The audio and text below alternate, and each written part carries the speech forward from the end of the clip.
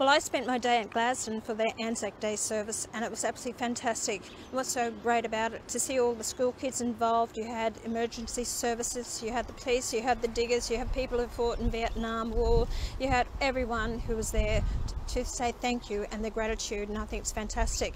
Well I'm on the road heading north and I'm just outside of Rockhampton a place called the Caves and the memorial behind me is very typical of small towns um, anywhere, it doesn't matter if they're cities or wherever, but people have, have paid their respects and gratitude to those diggers, um, even past and present today, the armed services. So I just want to say thank you to everyone. I hope you remembered those that have lost their, fire, their lives and the sacrifices made for our freedom because you know what, freedom is never free. You really need to fight for it. And as I said today, that they fought for our freedom and our way of life. Now it is my, my duty as a Member of Parliament to make sure that freedom is still fought for.